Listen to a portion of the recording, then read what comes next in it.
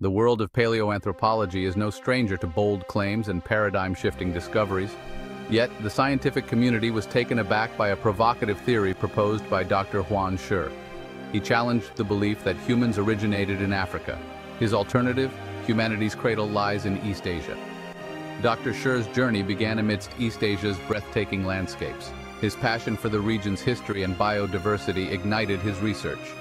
Years of research led him to a conclusion that would shake our understanding of human evolution.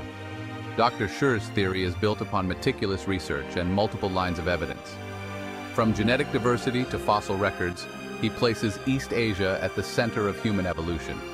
His work has sparked intense debate, forcing us to re-examine long-held assumptions.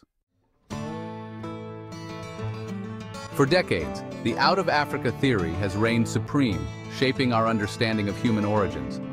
This theory posits that Homo sapiens, our species, first emerged in Africa around 200,000 to 300,000 years ago. These early humans then ventured out of their African homeland, migrating to other continents and eventually replacing existing archaic human populations like Neanderthals.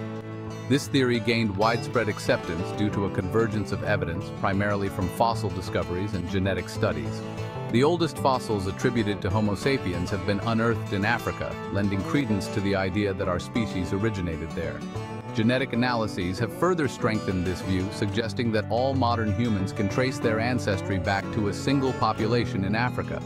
The out-of-Africa theory provided a neat and compelling explanation for the global distribution of humans. It painted a picture of a single origin for our species, highlighting our shared ancestry and interconnectedness. This theory has permeated popular culture, shaping our understanding of our place in the world.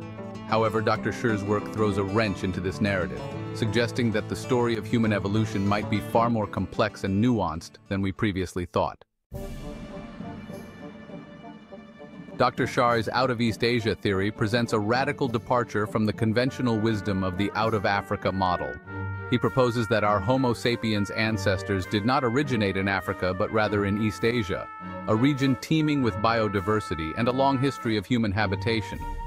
This theory, while controversial, is not without merit. Dr. Shi points to several lines of evidence that he believes support his claims. He contends that East Asia possesses the highest levels of genetic diversity among modern human populations, suggesting a longer evolutionary history in the region. This observation forms the cornerstone of his argument, challenging the traditional interpretation of genetic diversity as a marker of African origins. Dr. Shi doesn't stop there. He delves into the fossil record, highlighting discoveries in East Asia that predate or rival the oldest Homo sapiens fossils found in Africa. These fossils, he argues, exhibit anatomical features that blur the lines between archaic humans and modern humans, suggesting a gradual and complex evolutionary transition within East Asia itself. His work challenges us to reconsider the traditional narrative of human evolution and to embrace the possibility of multiple origin points for our species. At the heart of Dr. Shi's argument lies the principle of maximum genetic diversity, MGD, which he posits as a key to unlocking the secrets of human origins. This principle states that the region harboring the greatest genetic diversity within a species is most likely its place of origin. Dr. Shi argues that East Asia exhibits the highest levels of genetic diversity among modern human populations. This diversity, he contends, is a testament to a longer evolutionary history in the region.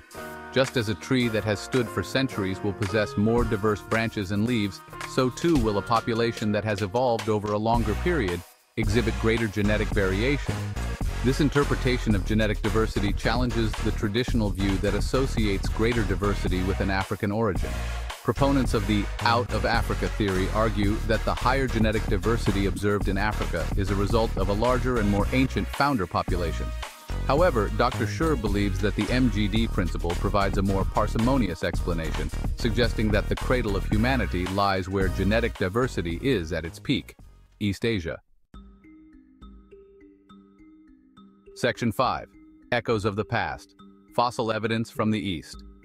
Dr. Shi presents compelling fossil evidence from East Asia, challenging the idea that the oldest Homo sapiens remains are exclusive to Africa. The Dali skull, found in Shanxi province, is a notable discovery. Dated to about 260,000 years old, it blends archaic and modern features. Another find, Homo julurensis from Jurandong, China, dates to around 300,000 years old. These fossils suggest a gradual and complex transition to Homo sapiens. Dr. Shi argues these discoveries challenge the traditional view of human evolution. East Asia may have played a pivotal role in the emergence of Homo sapiens. Section 6. Genetic Bridges. Connecting Ancient Europeans and East Asians. Dr. Shi's research delves into the fascinating realm of ancient DNA, uncovering genetic connections between ancient European populations and their East Asian counterparts. His team's analysis of ancient DNA from European fossils reveals a surprising genetic affinity to present-day East Asian populations. This discovery suggests that there was significant gene flow between East Asia and Europe during the Pleistocene epoch, a period marked by dramatic climatic fluctuations and human migrations. This finding challenges the simplistic view of human migration out of Africa, which often depicts a unidirectional movement of populations. Instead, Dr. Shi's research paints a more complex picture of interconnectedness and interbreeding between ancient human populations across vast geographical distances. These genetic bridges, he argues, provide further evidence to support the idea of an East Asian origin for Homo sapiens. The genetic links between ancient Europeans and East Asians add another layer of complexity to the story of human origins. These findings challenge us to rethink traditional models of human migration and consider the possibility of multiple waves of migration and interbreeding that shaped the genetic tapestry of modern human populations. Section 7. A Scientific Uprising, Controversies and Challenges. Dr. Shi's out of East Asia theory has not been met with universal acclaim, in fact, it has sparked considerable debate and controversy within the scientific community. Many scientists remain skeptical of his claims, citing the weight of existing evidence that supports the out-of-Africa theory. One of the main criticisms leveled against Dr. Shi's theory is that the fossil evidence he presents is open to interpretation.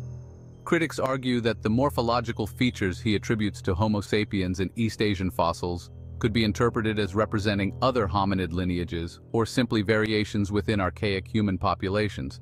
They contend that more conclusive fossil evidence is needed to overturn the established view of an African origin for our species. Another point of contention revolves around the interpretation of genetic data. While Dr. Shi emphasizes the high levels of genetic diversity in East Asia as evidence for an origin there, Critics argue that this diversity can be explained by other factors, such as population bottlenecks and founder effects.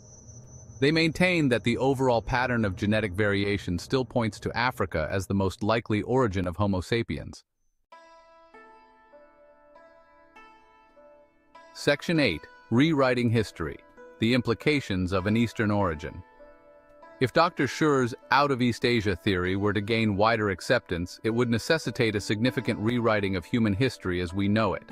Our understanding of the timeline of human evolution, the routes our ancestors took to populate the globe, and even the very definition of what it means to be human would be called into question. An East Asian origin for Homo sapiens would challenge the Eurocentric bias that has long permeated the study of human evolution. It would shift the focus from Africa and Europe to East Asia, highlighting the region's crucial role in shaping our species. This shift in perspective could lead to a more nuanced and inclusive understanding of human history, one that acknowledges the contributions of diverse populations to our shared ancestry. Beyond the realm of science, an East Asian origin for humanity could have profound cultural and societal implications. It could challenge existing narratives of identity, belonging, and human connection, prompting us to reconsider our place in the grand tapestry of life on Earth.